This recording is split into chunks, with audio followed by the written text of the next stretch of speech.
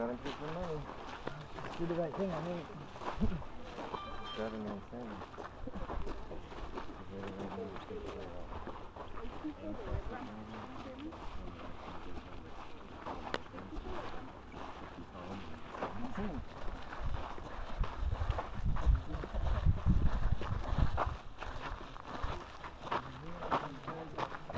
It's one of those people not busy all the time. so that's really good. All the time. I gotta relax sometimes. I maybe brought you up here to see also, so we can do some, also to look at study types.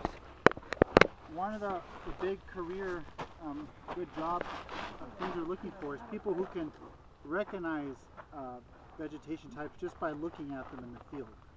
So again, I highly stress that. So again, you can look down and you can see all these different patches of stuff. Each one isn't an accident. So for example, just right below us, there's a strip of gray shrubs right there. Well, that's a little hmm. slope that's facing east. That's why those shrubs grow there.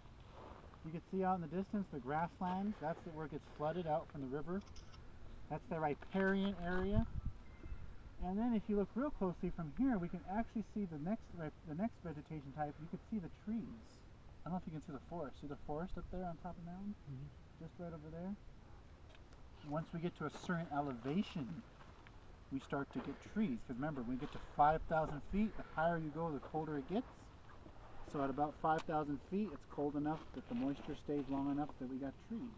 So different things happen there. Uh-huh. Look at the look at the slope here of this the mesa facing south. How there's very little vegetation, I think, because it's facing hot, and how the junipers are only growing on the top of the mesa or the bottom of the mesa, because that's where the soil is, you know, deep enough to hold them. They're not really growing on the slopes. And there is some creosote bushes. Those little kind of brown patches on that slope are actually creosote bushes, which are sneaking over. Can you hear me? so I'm just showing you all the different. There's a lot of different little things happening out there. Think to notice every one of those patches has something underlying happening to it. So we call it reveille. I don't know how to spell that, but I think it's R E V L E E. It's a French word, where we kind of look around and we get um, a visual census of all the different plant communities. So we might have a piece of paper and we might write down, oh, I see a juniper plant community. I see this plant community. And then you look at the landscape and you give it a percentage. You could say 25% of the land that I see is covered in X. That's one way to do it. The other way we do it, has anybody heard of a transect? Transects?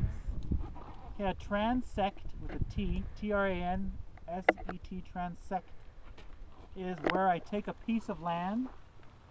Let's say I, I, I go down there and I pick, I take a, a um, measuring tape that's 500 feet long or a, couple yards long, and I just throw the measuring tape any direction.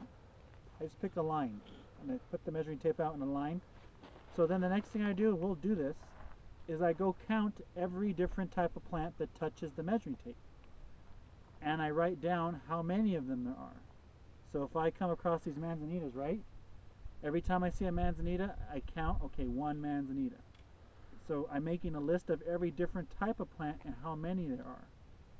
By doing that, I can look at that list from the transect and then determine what plant community I'm in.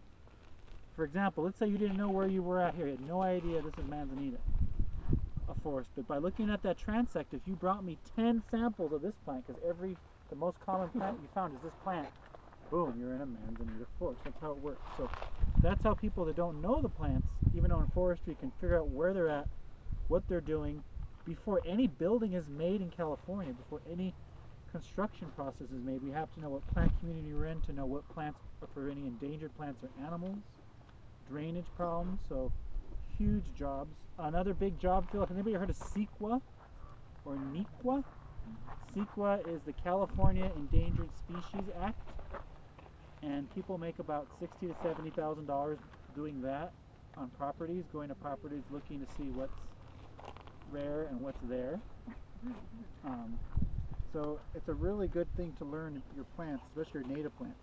I think it's more important to learn your native plants than the non-native plants because as things change in the economy and the environment, the native plants is where the money's going to be because it has to do with forestry, land use, water use, reclamation, restoration, less than than than kind of frivolous things like landscaping and so on. So it's it's harder. This is a lot harder than the landscape ID, but it's more important in my opinion. Because just by being up here and looking at the landscape and knowing the elevation and the way the slopes change gives you a lot of power, gives you the power of information to tell people where they're at. People think they know where they're at, but they don't really know where they're at in relation to the rest of nature and the, the, the area that they're in. So that's why it's good to know. Very few people, you probably didn't even know you were this close to a, a border uh, between the two. So, and that's really neat. And in California, we do have a laws and regulations, but those laws and regulations are twofold. Yes, they kind of help kind of stop business, but at the same time they make a lot of business. Yes, we have to have laws for like uh, these endangered animals, but now we have a, a space for someone's job, so it's a twofold thing. And there's always, always, always, always a deficiency in people that know their native plants. Right now. So, if we're almost done, we're going to keep up. We're going to go over the hill, and then we're going to slowly head back. Really quick? Really quick? That um, grassy area, that man, The grassy area is man-made. Cumberland Lake is right outside the dam, and that water area is. Here's a really cool area.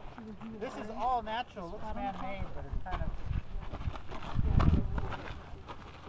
You guys have heard of decomposed granite, right? This is decomposed granite.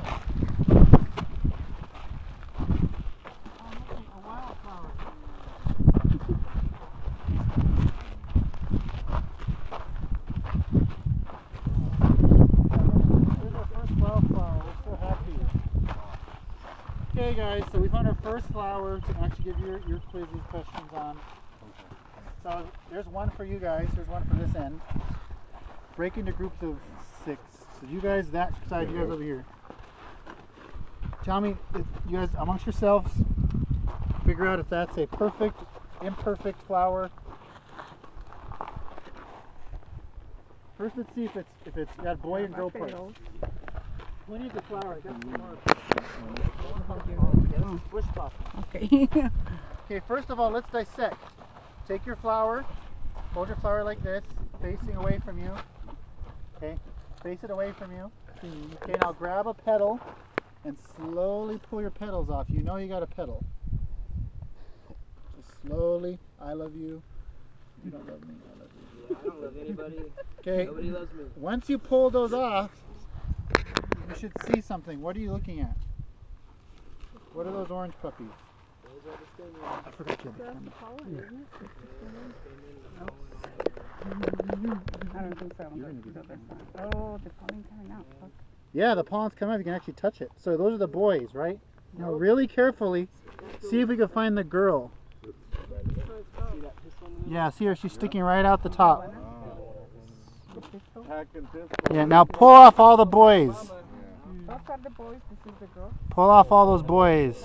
It's, actually a boy and a girl together. The ones, see the, the yellow around it? Those are the Yeah, so it's a, definitely a perfect flower. He's so smart. There's the girl. Yeah, it's perfect because it's boys and girls. As soon as you see boys and girls, you know you got a perfect flower. It's bisexual. And you had petals, so now you know you got a complete flower. Are there sepals? There were no sepals, but that's okay. And what's this called again?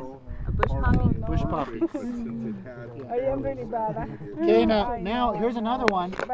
Having looked at that flower, look, ju- just no matter. We can do you think it's a monocot or a Okay, wanna dicot? picture? It's a dicot. Yes, wood dicot. It's a dicot, yes. Okay, so it's perfect because it has a boy and girl dicot. Yeah, perfect. tomar una foto. Yes, exactly. Because if I were to show you, but don't worry about the tepals thing. you were. The sepals. The tepals and sepals. Exactly. Because some flowers don't have petals or missing something. Oh, no, So you guys got that? So that was a perfect flower. it was also complete. It had all its parts. Now, here was a trick question. Pónmelo en una hoja blanca, por The manzanita that we saw was that? Do you think that was a complete flower? En una hoja blanca. It was also it had boys and girls also inside. The problem with that one was remember the boys were fused in the petals, so when I took the petal, ripped the petal off, it looked like there was nothing there. Perfect and complete. Well, complete means it has all its parts. Perfect means it has bisexual, so yes, it's both. Okay. So if you say complete, it indicates both Yes, automatically. but perfect doesn't it doesn't indicate Right, right. Perfect just means it's perfect for mating. exactly. For both parts. Yeah, yeah. Okay? Okay. Okay, wait, I have to write what he said. It's a perfect How much battery life do you have in your Yeah, camera? please. Um,